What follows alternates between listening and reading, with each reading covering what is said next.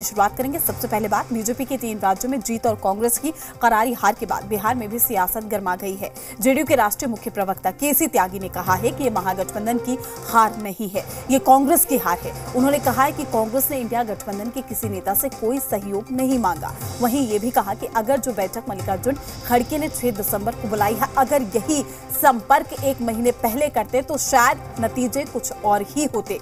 वही क्या कुछ उन्होंने कहा है, आपको सुनवाते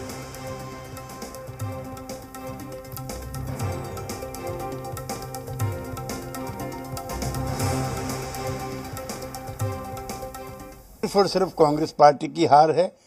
उन्होंने गठबंधन के किसी भी घटक दल से न संपर्क किया, न सहयोग माना। वो अपने बलबूते पर बीजेपी को हराने की योजना बना रहे थे, जो एक दुआ स्वप्न था।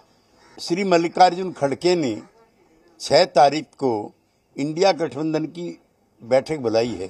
काश अब से एक महीने पहले ये बैठक बुलाई होती तो नतीजा कुछ दूसरा होता।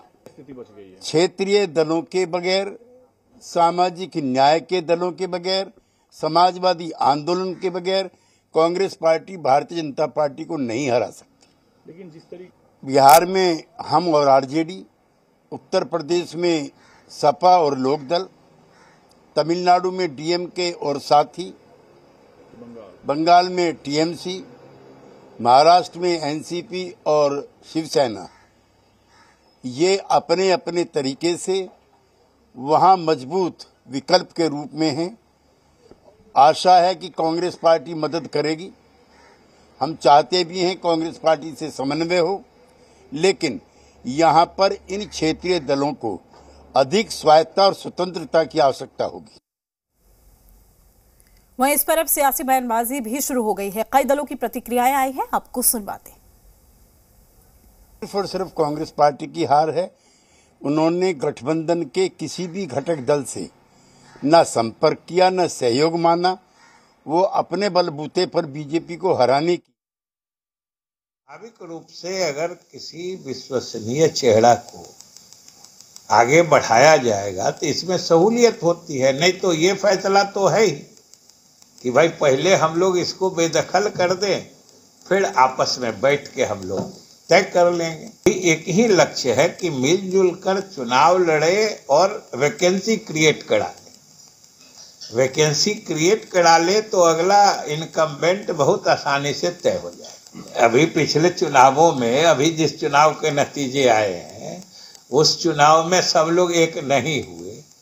तो क्या हुआ? जो चुनाव में हुआ और जैसे होता है, सब लोग अलग अलग हैं, पार्टियाँ तो सब अलग ही हैं ना।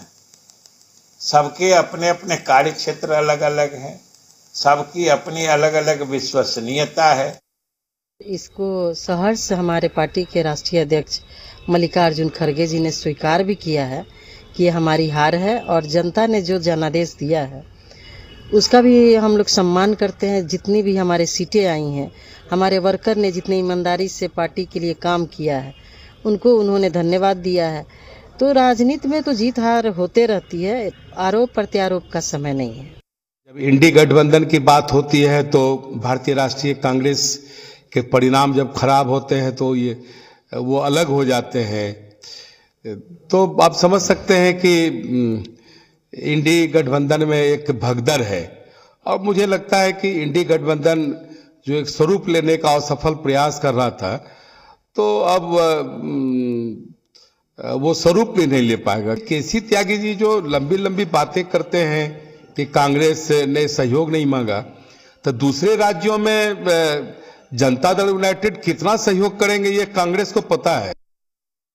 चार राज्यों के जो कल चुनाव परिणाम आए तो कांग्रेस पार्टी को तीन राज्यों में हार का सामना करना पड़ा।